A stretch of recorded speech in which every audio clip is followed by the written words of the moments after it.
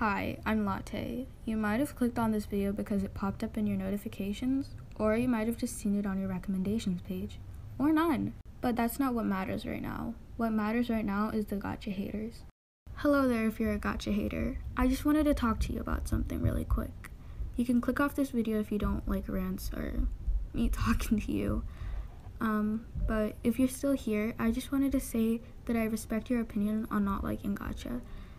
At one point of my life, I never liked gacha either. I used to think it was so cringe.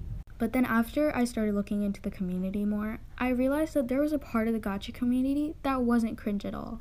I may be wrong about this, but I'm assuming most of y'all gacha haters think the community is cringe because of one content which has ruined our community miserably and has given us a bad reputation, which is called gacha heat. I've gotten various amount of death threats, hate comments, so many comments like shut up gacha kid. I'm just starting to feel like you guys are doing this because you look cool, and you really don't. You look so dumb. And I do really hate breaking it to you, but most of the gacha community is built up with people over the age of 11. Yes, there are some kids in this community, but not that much. I can name so many gacha tubers that are over the age of 11. Um, one is me, X Milka X, Adrian XC, um, Mish the Peach, Rosie Clausy, literally Johan, Sadie Shadow, Len Totally. I can name so many more. And yes, I can agree to the fact that gacha is sometimes really cringe. But I'm not gonna go hate on people who did make that video because I don't want to be a rude person unlike you. And most of y'all who do call us gacha kids are usually younger than us.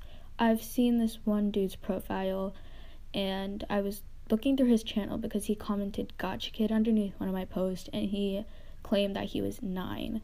Like, Dude, you're a kid as well.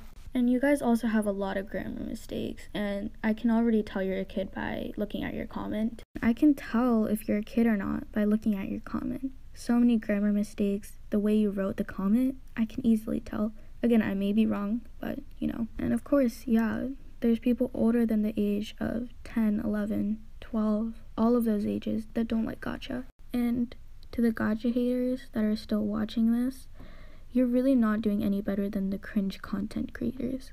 And yeah, at one point I really did think that r slash gacha life cringe was funny, but now it's just straight up hate. I'm begging you, please be more mature. And I might sound mean right now, but cyberbullying isn't okay. And if you do think it's okay, go see someone immediately because I don't know what's wrong with you. Millions of teenagers, millions of adults, millions of kids are hurting themselves because of this. Unless you want to see someone kill themselves because of you, then keep doing it. People can find you